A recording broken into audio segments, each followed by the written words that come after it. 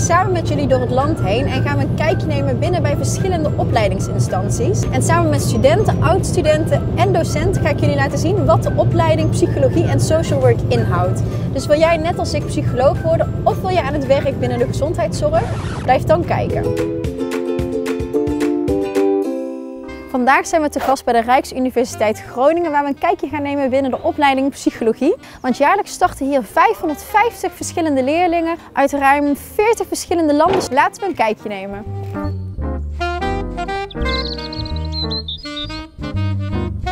Is Daisy. Daisy startte in 2015 met de opleiding Psychologie hier aan de Rijksuniversiteit Groningen. Hey, maar wat vind jij nou echt het allerleukste aan de studie? Het allerleukste aan de studie is dat ik uh, erachter kwam dat psychologie ontzettend veel meer is dan de klinische psychologie. Uh, de klinische psychologie is natuurlijk dat je als psycholoog praat met de cliënt. Maar ik kwam erachter dat ik tijdens de studie ook kon lesgeven bijvoorbeeld. En in mijn derde jaar heb ik dat ontzettend veel gedaan. En met heel veel enthousiasme. En ik weet nu ook dat ik daar eigenlijk mee door wil gaan. Er waren natuurlijk ook wat dingen die je lastig vond. En als je daaraan terugdenkt, wat vond je nou echt lastig aan de studie? Dingen die ik eigenlijk lastig vond aan de studie was de overgang van de middelbare school naar de universiteit. Ik vind niet specifiek heel veel vakken lastig binnen de opleiding. Alleen het is vooral heel erg veel wat ik moest lezen. En dat maakte het vooral lastig met planningen eh, om je tentamens te halen. Dus het was niet vooral heel lastig, maar vooral heel erg veel. Zijn er ook dingen waarvan jij denkt, nou als ik dit van tevoren had geweten, dan had ik dat graag gehoord, die jij zou willen meegeven aan een toekomstige student? Wat ik iedereen zou willen meegeven is dat als je twijfelt of het te moeilijk is, om het dan uh, gewoon voor de studie te gaan.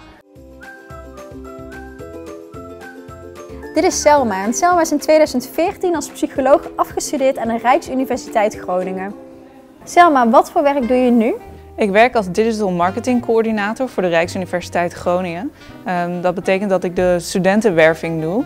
Dus ik werf studenten eigenlijk vanuit de hele wereld en Nederland om naar de Rijksuniversiteit te komen. En dat doe ik veel online, dus via de website, sociale media, nieuwsbrieven en andere kanalen. Wat heb jij aan je studie gehad bij het werk dat je nu doet? Dat zijn eigenlijk meerdere dingen. Het gaat natuurlijk over het beïnvloeden van gedrag, hè, want ik wil graag dat mensen naar Groningen komen om te studeren. Dus daar heb ik wel veel aspecten van geleerd bij de studie. Daarnaast heb ik ook een minor gedaan in marketing, waardoor ik eh, verschillende marketingaspecten heb geleerd en gezien wat de koppeling is met psychologie. En een van de belangrijkste dingen is wel geweest statistiek. Want ik gebruik statistieken toch wel dagelijks om te begrijpen welke data, hoe ik de data kan verwerken om dat te gebruiken voor, uh, voor de marketing. Als je iets mag meegeven aan een student psychologie of iemand die juist nog psychologie gaat studeren, wat zou dat dan zijn? Wat ik zou willen meegeven is om jezelf ook naast de studie goed te ontplooien. Dus verschillende hobby's te proberen en verschillende bijbaantjes. Want ook de meest rare bijbaantjes kunnen je eigenlijk heel veel dingen leren.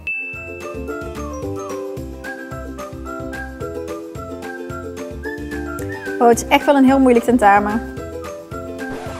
Nee hoor, dat is maar een grapje. Komt allemaal goed. Dit is Ruud ten Hartig. Hij is docent bij de Rijksuniversiteit Groningen.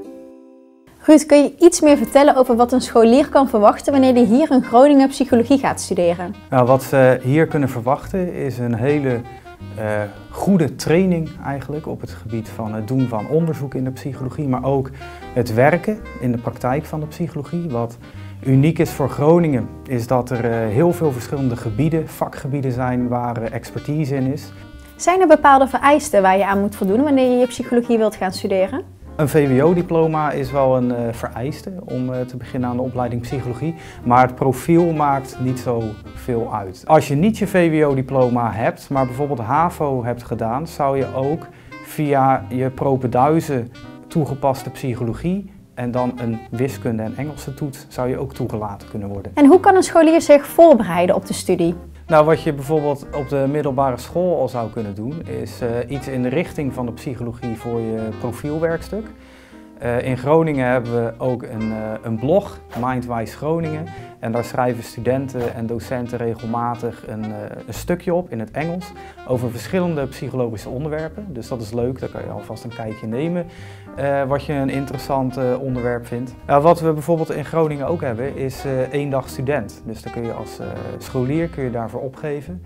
Uh, dan loop je mee met eerstejaars uh, studenten, met colleges. Je wordt rondgeleid door de studenten en je kan ook gelijk leuk uitwisselen wat je nu eigenlijk doet als uh, student psychologie, wat je hier leert, ook over de stad Groningen en wat voor moois er allemaal te beleven is. Wanneer je hier in Groningen studeert, dan word je ook gevraagd om mee te werken aan allerlei verschillende onderzoeken. Je kunt meewerken als proefpersoon, maar je kunt ze ook zelf uitvoeren.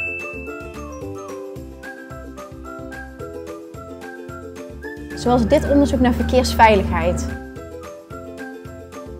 Ik zei het net al, niet alleen studenten uit Nederland komen hier in Groningen psychologie studeren.